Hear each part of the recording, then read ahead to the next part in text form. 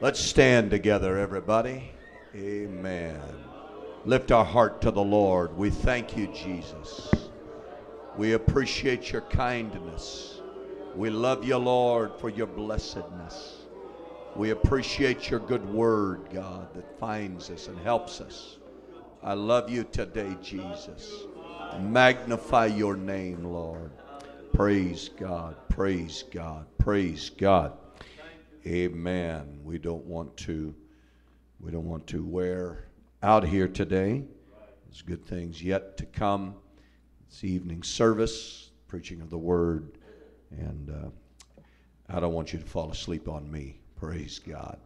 I do appreciate what I have been hearing, and uh, especially what I have been feeling in the Lord. And uh, I want to walk very carefully uh, through the next couple of moments what I say.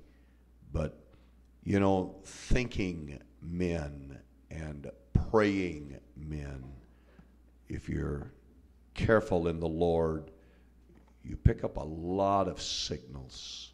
You just do. We become sensitive to the Spirit. And the things that have been preached here in this meeting have been those things that, for me personally, I have been meditating, thinking on, considering, feeling after. And it just seems like in the Holy Ghost, the Lord has put it all together in a very neat package called Path Conference. It's just been exceptional. And uh, I heard a man use this term one time, and it stuck with me.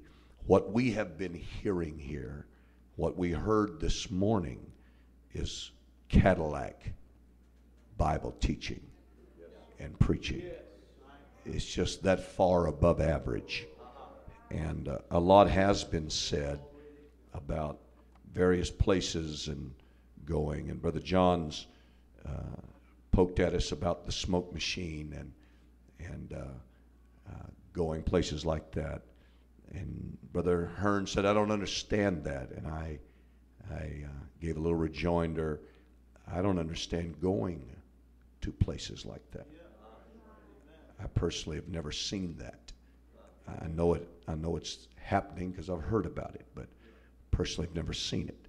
I've never been in a meeting where the young people were so spiritually inept that they rushed the platform and gave one another high fives and were applauding themselves over their response to what they considered to be good oratory. I don't attend meetings like that, but I will tell you that this kind of a meeting here builds something.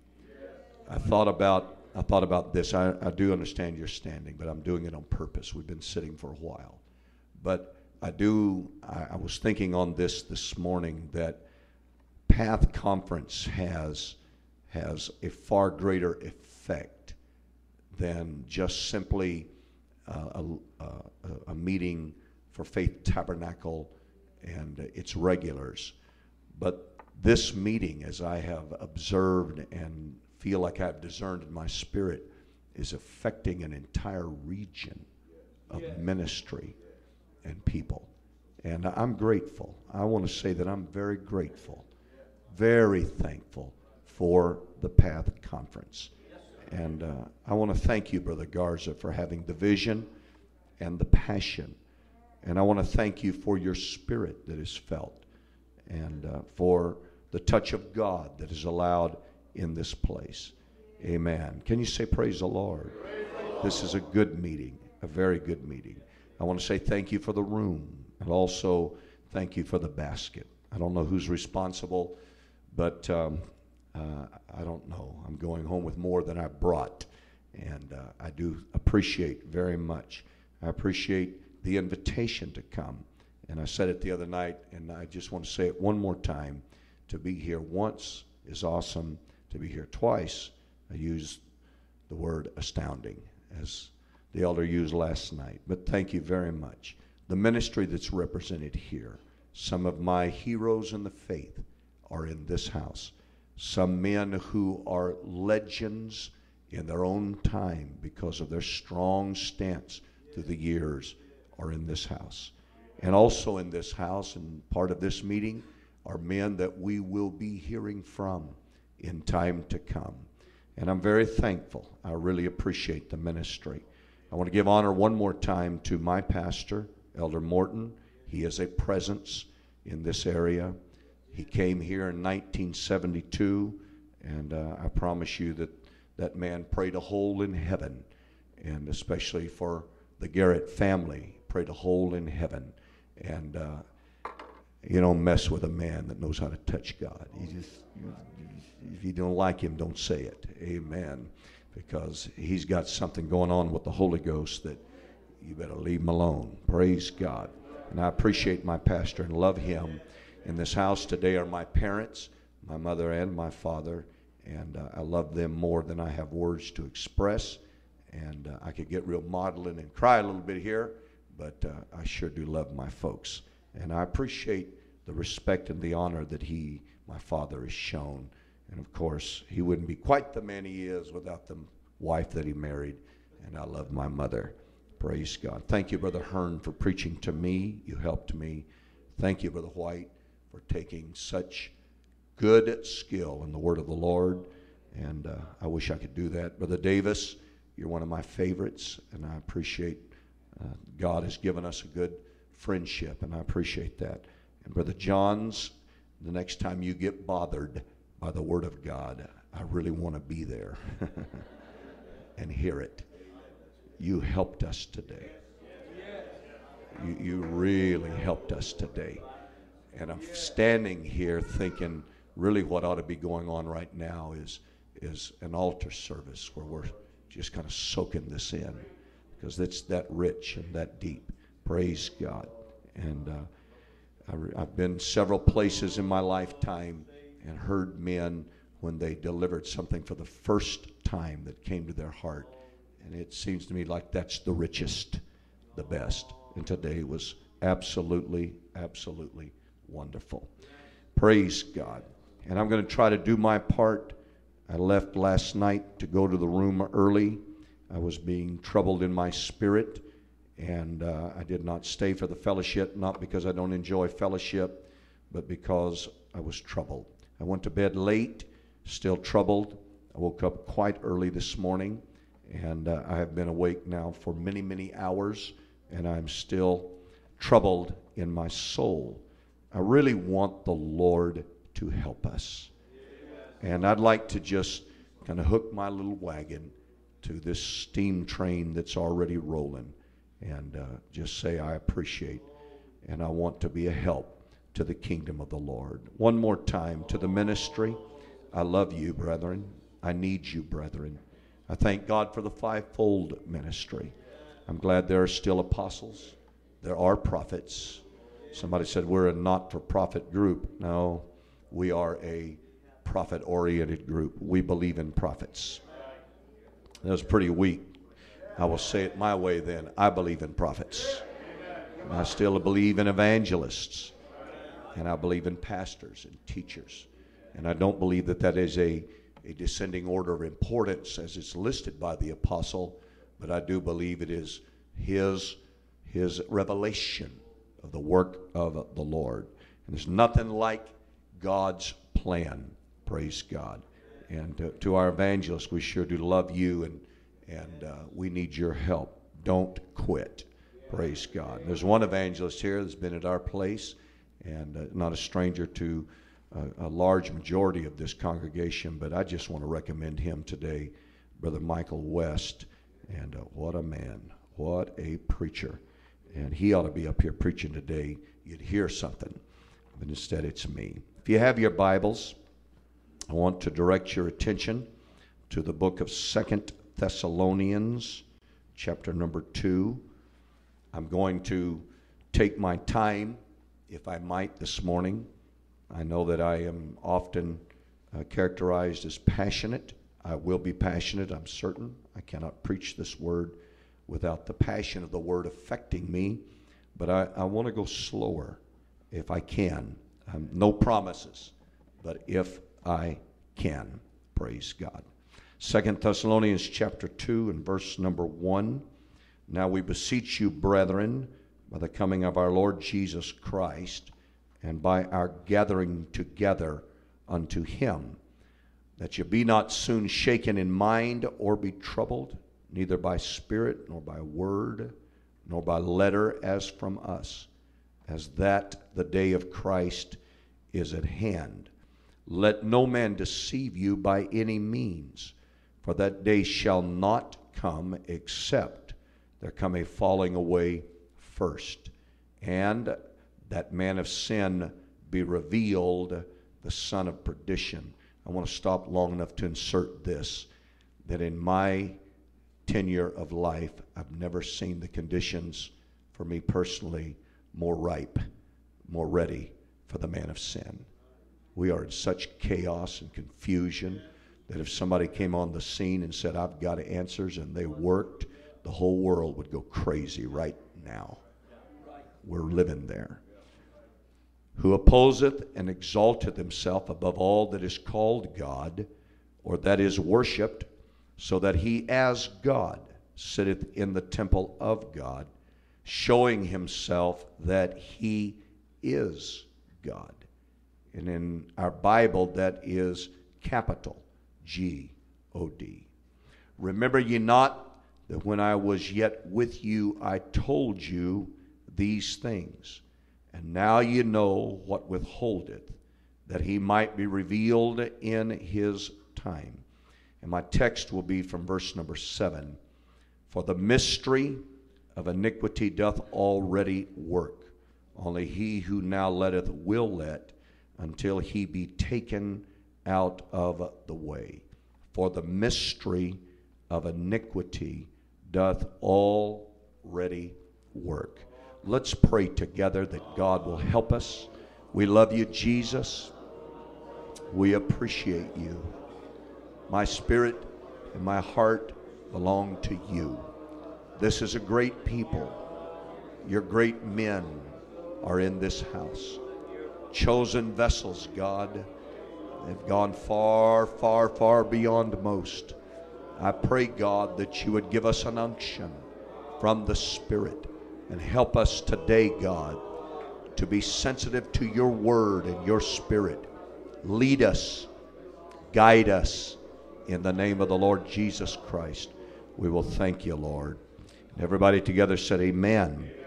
And you may be seated. Praise God. I am, I am aware that I stand between you and lunch, so I will, I will be careful concerning that. I know that uh, on Wednesday night uh, we didn't stay long behind the pulpit, and uh, Brother Hearn yesterday said that he was taking that extra time. Reminds me of a time many years ago when uh, my mother was quite ill with what they call valley fever. My father was driving a Sunday school bus, and I was quite young. My sister, just a year older. We were walking home from Sunday school, and uh, we had been given a donut. It was a glazed donut. And uh, if you were raised in the circumstances in which we were raised, uh, that was one more rare, rare treat and I wanted that glazed donut. My mouth watered for it, but I didn't feel like eating it at that moment. And we were walking home from church, and uh, I got sick. And uh, I laid down on the sidewalk because I was so sick. And my sister didn't know what to do, and strangers came by and and uh, picked us up. I don't remember the car ride home. I was so sick. Got into the house, and I do remember my mother taking my donut, putting it up on the refrigerator. Well, it was several days before I was well enough to want that donut. But uh, when I went looking and asking about that donut, uh, it wasn't there. And uh, it would have been stale anyhow, but my childish mind couldn't get around that. And um, I'm a little warped because of that. And uh, there's not a donut shop across the nation that I'm not familiar with. I missed my calling. I should have been a police officer, but anyway. And uh, anyway, uh, Brother Hearn, I went looking for my time and it was gone. Amen. And it might have been stale anyhow, but praise God. So uh, I don't want to take uh, an inordinate amount of time here. This is this is on my mind today, and I've learned that when the itch is there, that we ought to scratch it, especially in the spirit. I was praying last Sunday morning. We had a guest speaker, and so I was not praying for a message. I was just in the study, as is my custom. It was my personal devotion to the Lord. And the Lord began to burden my heart. And I thought about this meeting. And uh, as I was thinking about this meeting, some thoughts began to roll through my mind. And uh, I was writing as I was meditating and thinking on the Lord. And uh, since I have been here at this meeting, almost everything that I had put down has been covered. All of it. And uh, last night, uh, even my scriptures were read and uh, all of it. So I said to myself, self, either you missed it or you get to come back and maybe cinch it up a little bit. So I think perhaps what I'm going to do here today is just kind of cinch up some things if I can. Iniquity is the root of all sin. Iniquity was the original sin because we've covered it and others have covered it. I will not cover it here again this morning, but Ezekiel 28 13 through 15 again deals with Lucifer, and the scripture concludes, till iniquity was found in thine heart. In Isaiah again, it was iniquity. Genesis 3 1 through 6 is the temptation of Eve by that serpent we heard about yesterday, more subtle than any beast of the field. And the question that he placed in the mind of Eve was, Yea, hath God said? It was questioning. And uh, ye shall not surely die, perverting the word of the Lord, and then placing a lie, ye shall be as gods, small g, and uh, you shall you shall know. You got the right then to make up your own mind. But the consequence of that of that original sin was expulsion from God. It was cast out of heaven.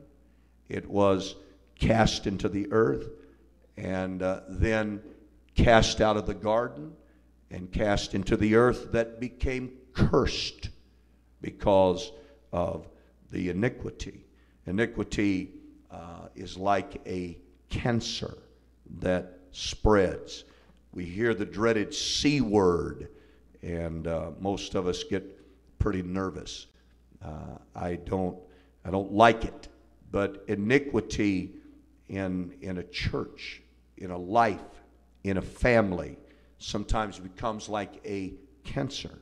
That if it's unchecked, somebody doesn't take the time to identify it and deal with it and uh, step right up to it and confront iniquity, uh, it'll spread.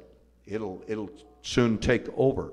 Matthew 24 and 12, the Bible said, Because iniquity shall abound, the love of many shall wax cold. So let a little iniquity get loose in our lives, uh, a little rebellion against God, a little high mindedness on our part, and uh, the love of many shall wax cold. I thought it so so well put this morning by Elder Johns that not worrying about the external. Some folks some folks think that it is entirely difficult to get a congregation to conform to the standard or the law of the church. I'm just going to be honest with you and tell you that I haven't found that to be so.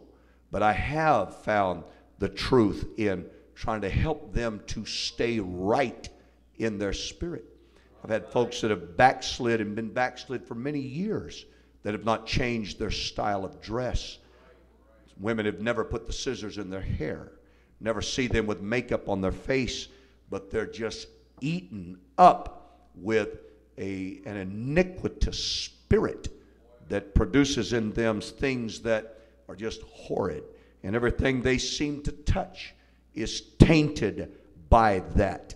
I have some relatives that I love, and this is probably sensitive to my family, but, but uh, some of them have not changed their appearance in many years as far as their holiness. They used to live here in the valley, go to the same church that we went to, sat under the same pastor that we sat under, heard the same teaching that, that I cut my teeth on and got the convictions in my spirit from. And uh, yet today they are so far from God, so far from truth, so far from right, and their families are, are disintegrating, and it's, it's terrible to watch it. But it was iniquity. Iniquity took one third of the angels from heaven. It spreads. It spreads. Iniquity took one third with Lucifer.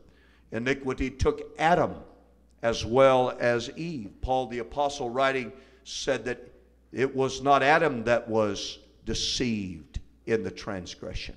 Heard one man say, and, and I have a tendency to agree, that, that he looked at that bride that had been given to him by the Lord, and so he could not bear to see her thrust out alone. So, going with her into iniquity. It took Adam as well as Eve.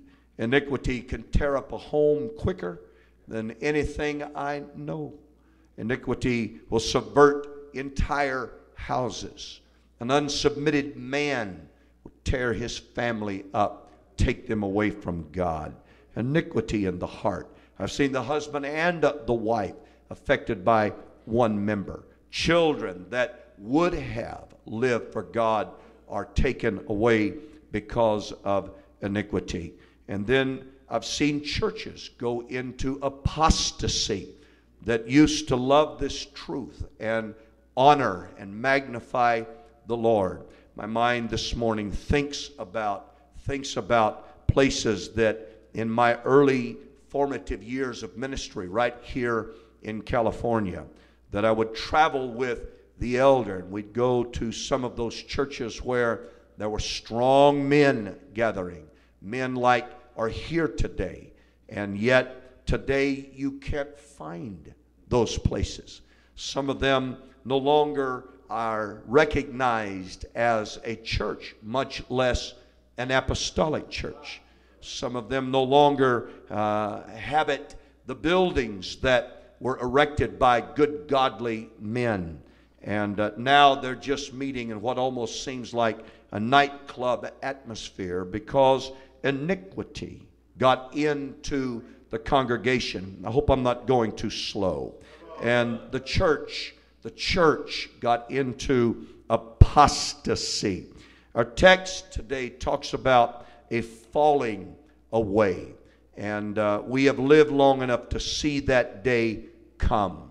And uh, I'm beginning to believe that Pentecost is not nearly as large as some folks would like to profess that it is. And uh, I'm beginning to believe that apostolic Pentecost, particularly, is becoming more and more and more narrowly defined by the message that we preach. This Acts 2:38 message, this this one God message, this separation from the world message that we call holiness. And my, my pastor likes to call it holiness within and holiness without. And yet, as we live long enough, we are seeing that it's just not that large. And there is around us a falling away. In most places, preaching against television is uh, it, has gone the way of uh, buggy whips and gone the way of of team of oxen. That's no longer even an issue in a lot of places that are called Pentecost because because of iniquity that has entered in. That falling away is happening around us. My my journey today is not to preach to those or even to try to speak to those who are not here there's very little that I can do personally that will affect them this is a very narrow uh, attended meeting. This is a gathering of, of some real men of God. And so there's folks that not only will they not attend, but they're not interested if you send them the CDs. They don't care. They won't hear what was said this morning, much to their own harm and hurt.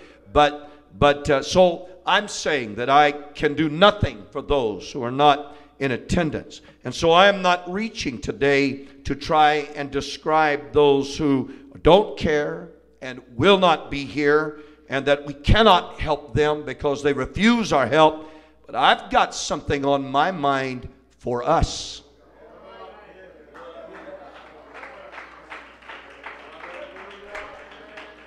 I got something working on my spirit for we who are here today. And I'm going to include me in that mix. I'm not going to exclude myself. I don't enjoy listening to a man who will invite us to do something that he will not do himself. I don't want to hear a man preach who will lay down the law for others and you find out later he has no concept or obedience to the very word he preaches. That man's a liar. I don't want to follow him. I'm not interested. Praise God. Amen. If you follow that kind of an individual, you end up in the proverbial ditch, as the scripture says. And so I'm not interested in that. But I am interested today in preaching to this congregation, speaking to us, and speaking to myself also. God, help us. God, help us. God, help us. That iniquity not fall into our ranks, that it not come to you and I, that it not visit my home, that it not come to my marriage, that it not visit the church that I pastor. I want something to get in my spirit today. We've already heard it. I, I, feel tender. I feel I feel broken up on the inside of my spirit here today. And I'm willing for God to do a work on me. I want a pure mind. I want a pure heart. I want a pure spirit. I want to do right. I really do. I get around brother and sister Minna, and uh, I immediately, it's like, it's like getting into a room where somebody does this, and immediately you start, you know, checking, you looking for a mirror to see if it's all right. I get around brother and sister Minna, and I feel the purity. I watched them last night couldn't help but see them. They're in my line of vision that from the very beginning of the service until the service was completely finished, they were enraptured in worship and honor and magnifying the Lord. I want that kind of purity to get on my mind. I want that kind of purity to get in my spirit. We've already heard it. The only way that it's going to happen is for us to get a place where we develop a relationship with God, speaking to Him, praying in the Holy Ghost. Not because we want a message, not oh, not because we want to have another good service, not but because we want to walk with Him in the day. Praise God. My pastor called me recently, and at the conclusion of our conversation, he said, Ronnie, he said, preachers need to pray every day. And so uh, I said, Yes, sir. And I, I've tried to make that my habit in my lifetime, but it just reinforced something in my mind. And if I were tempted or even thought about for just a little while, I hear that sound in the back of my mind that, Ronnie, preachers ought to pray every day. And then he said, Get up and go to the church and pray every day. Amen. If I want that relationship with God, then and only then will the purity of the Spirit manifest itself in my life. Do you want it? Come on, do you want that? I believe we want it. Let's ask Him for it right now. God, help us. In the name of Jesus. In the name of Jesus. Hallelujah to God. Hallelujah to God. Hallelujah to God. Hallelujah to God. Our text today says these words that that he showing himself. He's sitting in the temple of God. Verse number 4 who opposeth and exalteth himself above all that is called God. Opposeth and exalteth himself above all that is called God. God, or that is worshiped so that he, as God, sitteth in the temple of God, showing himself that he is God. That's a mouthful from the word of the Lord and from the heart of the Apostle Paul. Revelation 21 and 3 tells us that, Behold, the tabernacle of God is with men, and he shall dwell with them, and they shall be his people. In verse number 2 in Revelation 21, he said, Come, and I will show thee the bride. And then he said, The tabernacle of God is with men. He shall dwell with them, and shall they shall be his people. Paul the apostle writing 1 Corinthians 3:16 said, Know ye not that ye are the temple of God, and that the Spirit of God dwelleth in you? Don't you know that? 1 Corinthians 6:19, Paul writing again, Know ye not that your body is the temple of the Holy Ghost, which is in you, which you have of God, and ye are not your own.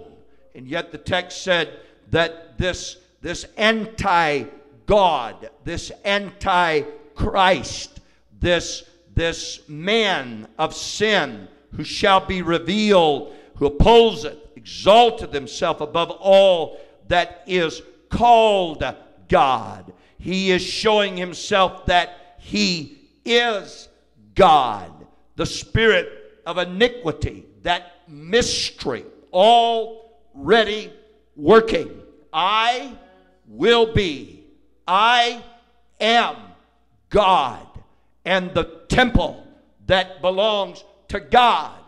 I'm going to rule that temple. I am going to, amen. I'm going to be God in that temple. I feel the unction of the Spirit. Praise God. Cain was such a man that refused, evidently, God reaching for him. And when his punishment for his dastardly deeds was met, and he was driven from the presence of the Lord, he said, It's more than I can bear. And yet it was iniquity that placed him there. I got a phone call this morning. I thought it very ironic that these thoughts would be in my mind. And it was a preacher, a preacher who preached among us, a preacher who, who shared uh, the pulpit that I preach from, a preacher that, that, uh, that I loved with all of my heart. But today, he is totally backslidden. He is divorcing his wife. He is angry because his children want to live for God and they want to serve the Lord. And they are sitting in a good apostolic church, at least I hope it is. And uh, they want to do right. And this man is angry because they have no desire to do business with him anymore. His children are all in their teenage years and heading into their 20s, and they don't want to fool with him anymore. Iniquity did that. Somewhere in his life, he lost the fear of God. Somewhere he accepted in his own life that he was impervious to those impure thoughts and the idea that he should be subject to God and to God's anointed word and to God's anointed ministry. And somewhere he got off track and he's lost today. I don't know if he'll come back. I don't know if he can come back. The last time that I visited with him and tried to help him, I almost felt like the Holy Ghost. As a matter of fact, I had time to spend more time with him in hopes that I could persuade him. But as I was driving in the car with him and he was pouring out his vileness and the bile in his spirit, I felt like the Lord just lifted my burden from him. And I left many, many hours earlier, several days earlier, than I would have left because of iniquity. Esau trivialized important things from God in such a measure that though he had the promise, I want to walk careful right here, though he had that promise, as it were, in the bag, though he had the commitment of the birthright already to be handed to him, and though the eyes of his father were waxing dim, and the day of his coronation, of the opportunity to handle that birthright and to pass it to his own posterity, he trivialized those important things by his loose talk and his loose living and his presumptiveness about the things that had eternal value to God. And as a result of that, though he carefully sought to be to be restored to birthright and to that anointing again, it was impossible for that man to be restored. And the scripture records that God hated him. I am convinced and I am submitting today that it was because that iniquity got in his spirit and he was not willing to deal with it. And while it's on my mind, I feel like that Esau uh, occupied that exalted position of privilege. And in that exalted position of privilege, he felt like his language was excusable and he felt like his behavior was excusable. And I feel like that somehow we have reached that day again to where there's a whole lot of stuff that's going on in apostolic Pentecost.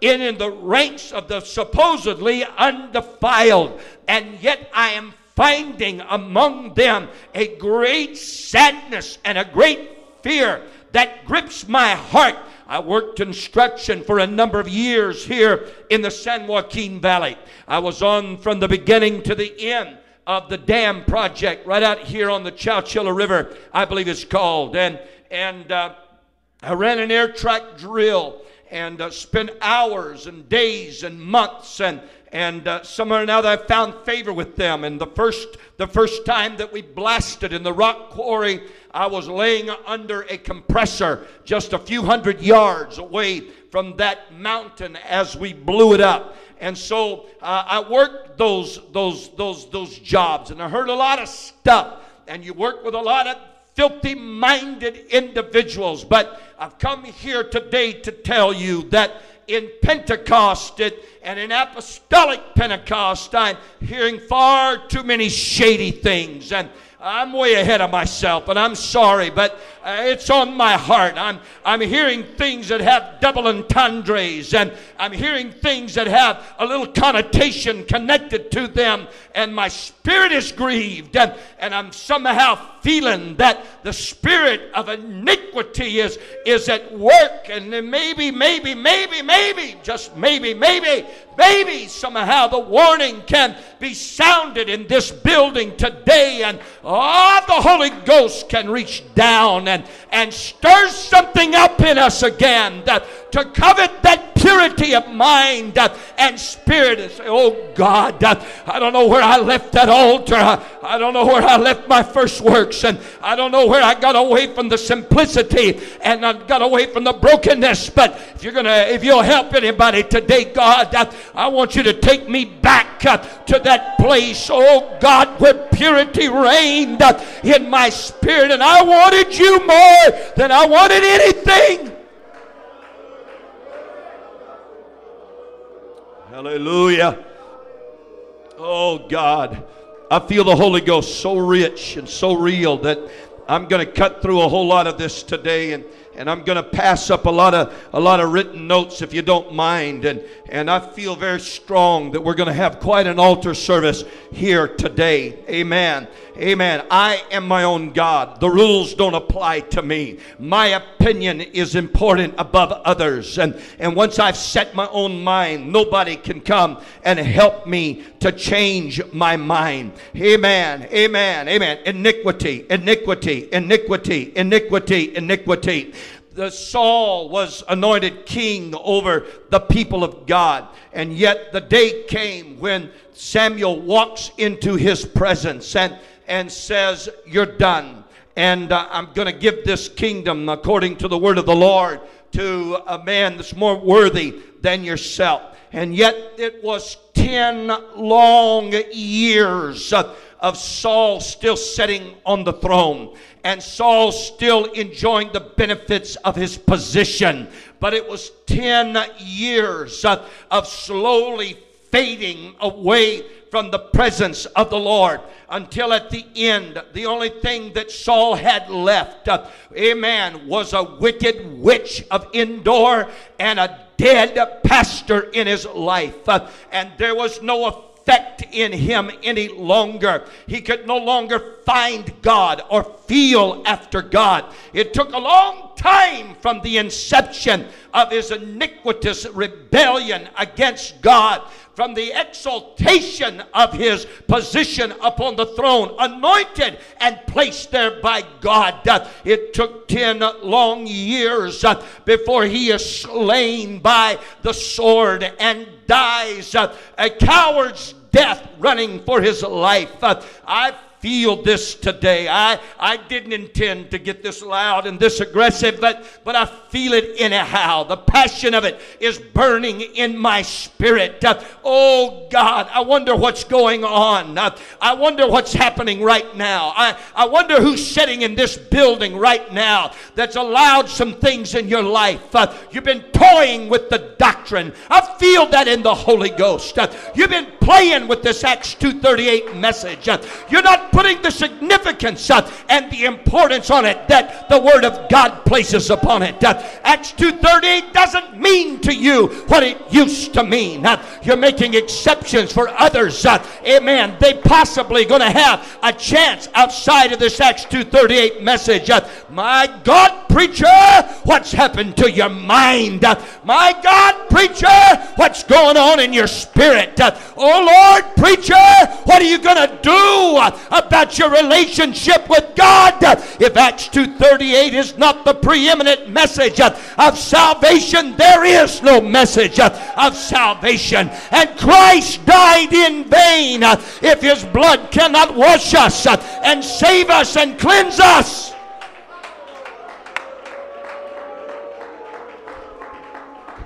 If a polytheistic ideology about God is acceptable to you, and they're going to serve God in their quote own way, and you serve God in quote your way, then then this Bible, you might as well wrap it up uh, and put it on a shelf somewhere and throw away, throw away your your your credential, whatever that might be, uh, and throw away your calling because you're just as gone uh, as if we've already had your funeral. Uh, you're just as gone. Uh, woo, I feel the Holy Ghost uh, as if we've already stood by your so your church and watched it go away.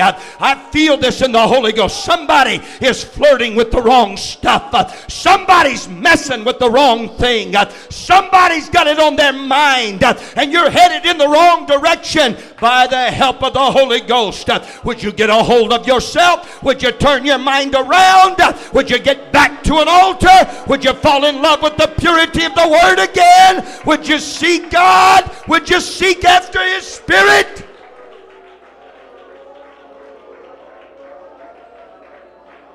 Hallelujah. Hallelujah. Hallelujah. And when I think about this long goodbye, I obviously have to take a look at and remember what caused it and what brought him to that place and how did he drift so far. And I think about him, and I know this has turned a little odd this morning, and I can't help it. I can't help it. I promised God today I would speak for Him. If it cost me friendships, I promised that I would speak for Him. Hallelujah. For rebellion is as the sin of witchcraft. You haven't been to Endor yet, but you're going there, Saul. You have not set in her home yet and set in on her seance, but you will. Amen. For rebellion is as witchcraft. I, I don't know why I feel drawn this way this morning, but, but there is nothing as odious uh, to a God called apostolic ministry than a rebellious, know it all preacher that nobody can help, that's got an opinion about everything and everybody and doesn't want to hear anybody say anything that crosses his opinion.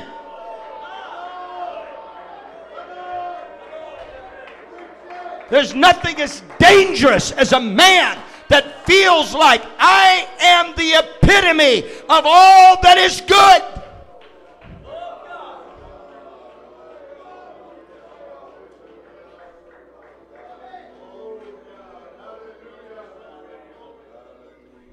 Oh, God, help us. Oh, God, help us. What happened to that spirit of ye younger? Be submitted to elders. What happened to that spirit of ye elders? Be submitted one to another. Oh,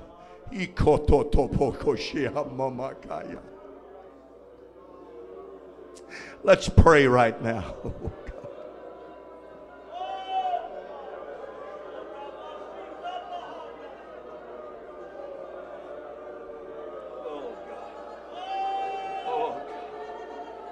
Oh God. Oh God.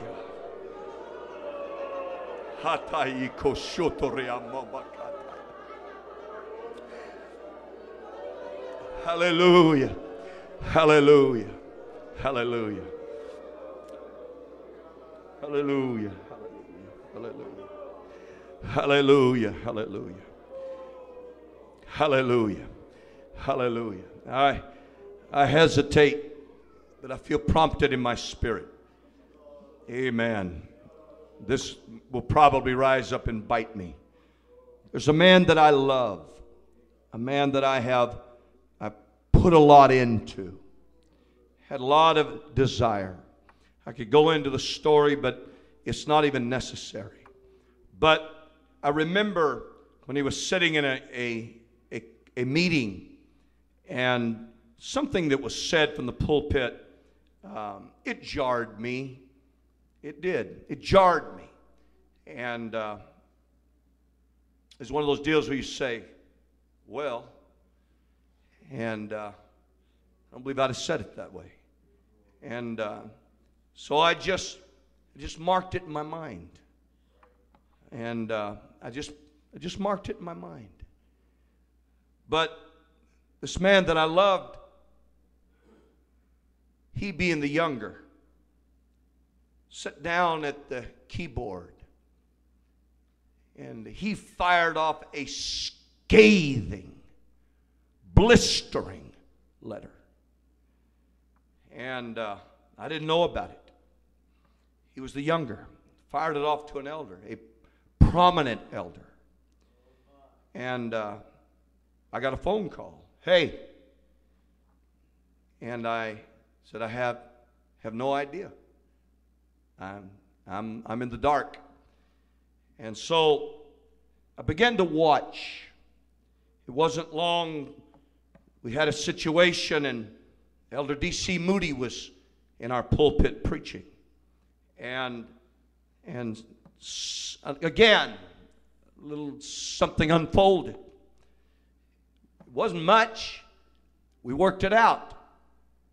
But the, the reaction and the overreaction and the building it out of, out of proportion, just blowing it up until it's separated.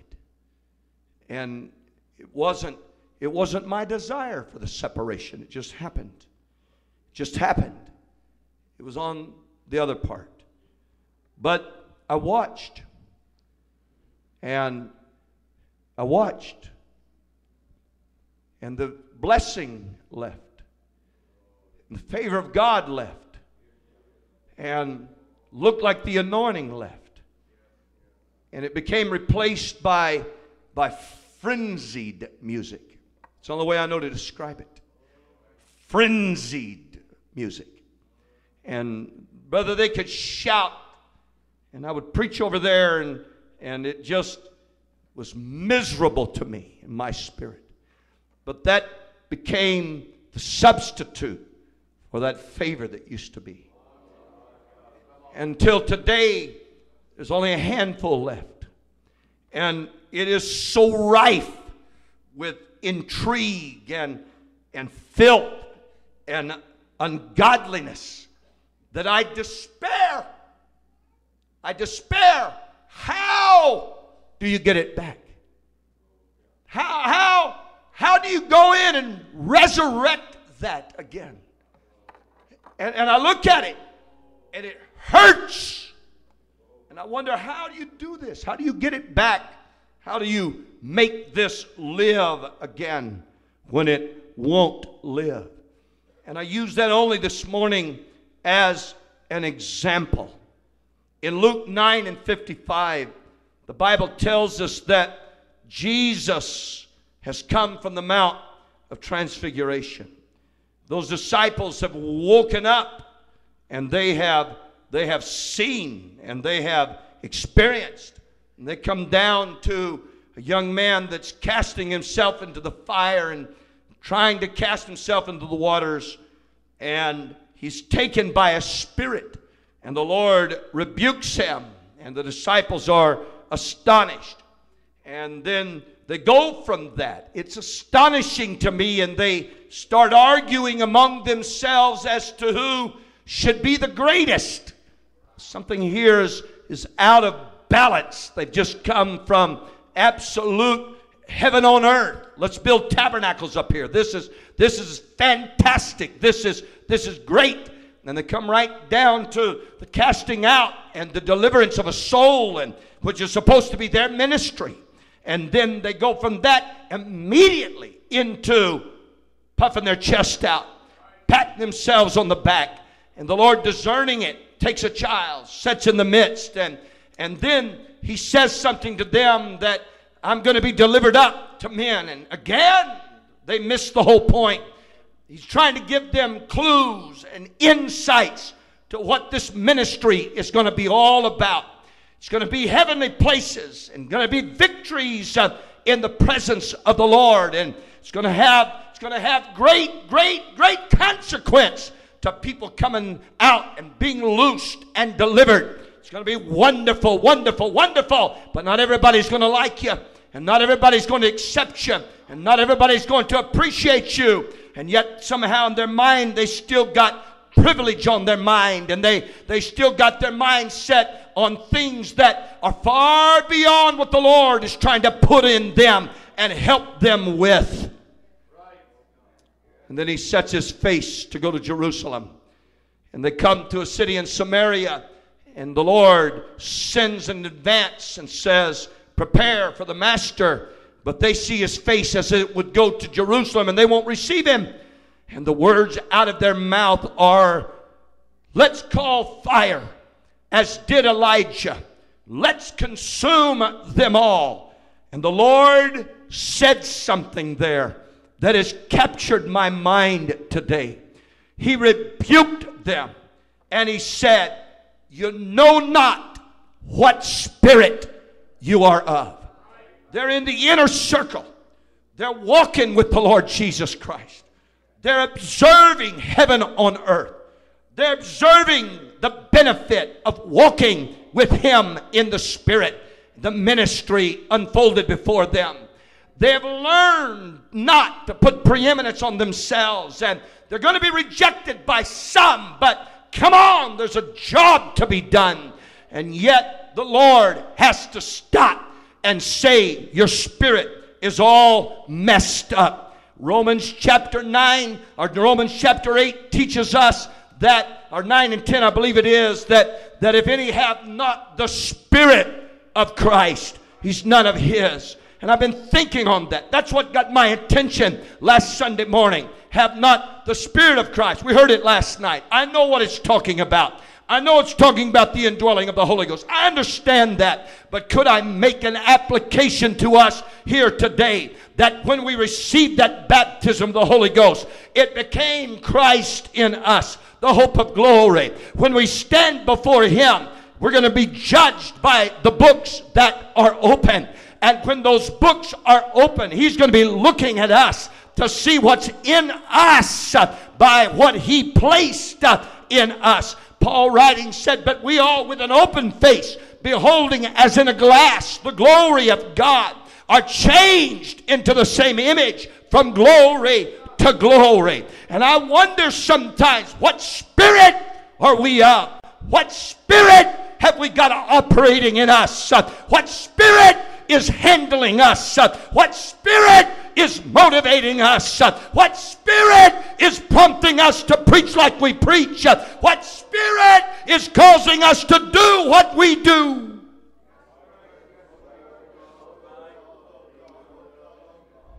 And I feel a check here today. And I feel a burden here today. And I feel a responsibility on me today. Hallelujah. I'm not young anymore. Certainly not old, but I'm not young anymore. Amen. And so I feel a burden on my heart. What is pressing us?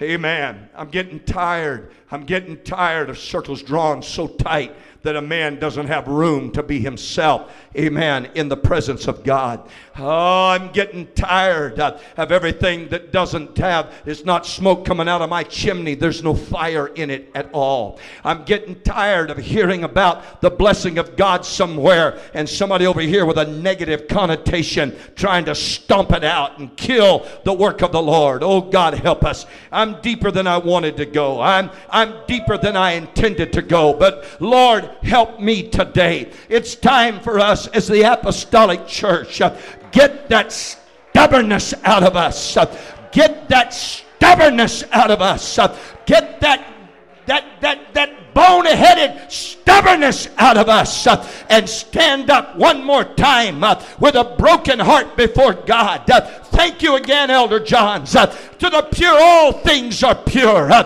come on, my brother. I've got a hand reached out to help you.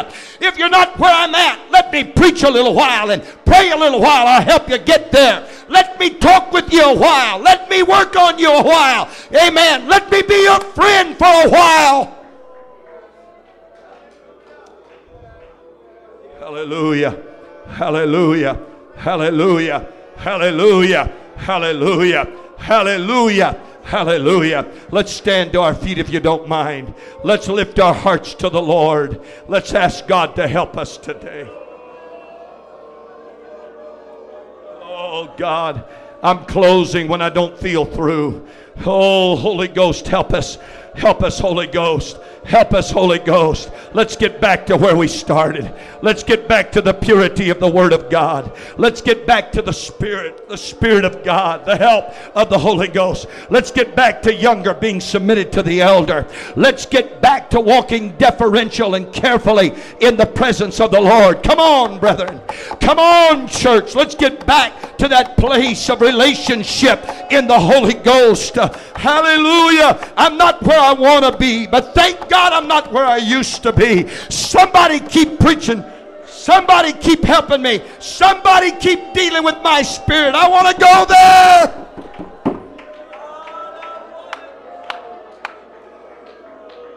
Oh, hallelujah, hallelujah.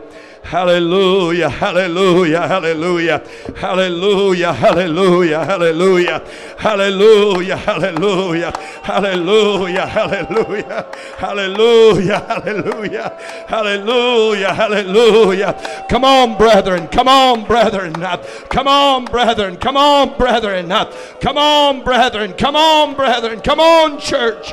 Hallelujah. I feel the Holy Ghost here today.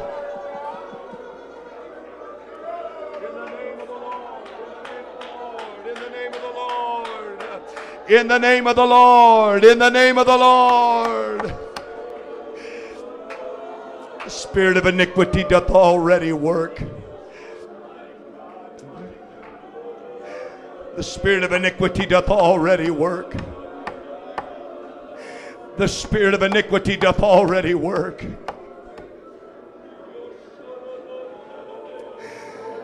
Oh God. I'm kind of hung up on this for a moment. I'm kind of hung up on this a moment. And I keep coming back to it. But when we in the ministry allow in ourselves what we forbid in our church,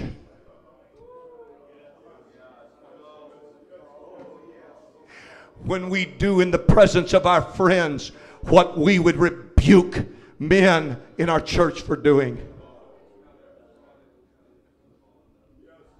We're showing ourselves that we're God.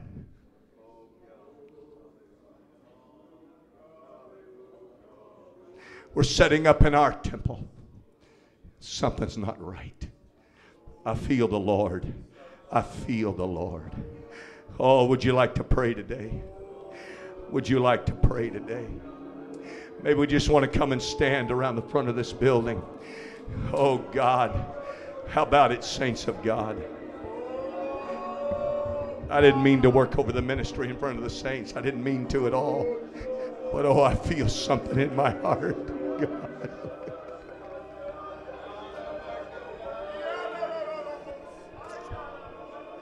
You know where I'm at, God. How about you, ladies? Come on, there's room, ladies.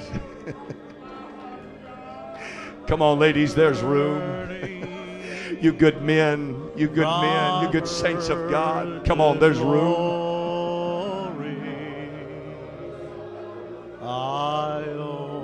We're trying to draw nigh to God. Give me a pure heart, God. Give me a pure heart, God. Give me a pure heart, God. Give me a pure heart, God. Give me a pure heart, God. Give me a pure heart, God. If we condemn tale bearing among the saints, come on, let's pray. We've got to condemn it in our own hearts. If he that soweth discord is an abomination, we can't be guilty of such abominations. If we rebuke others for touching the anointed in the ministry, can we suffer the same rebuke from the Spirit when we lift up our hands? David, come on out of the cave of Adullam. Hold up that piece of the hem of the garment and repent, David.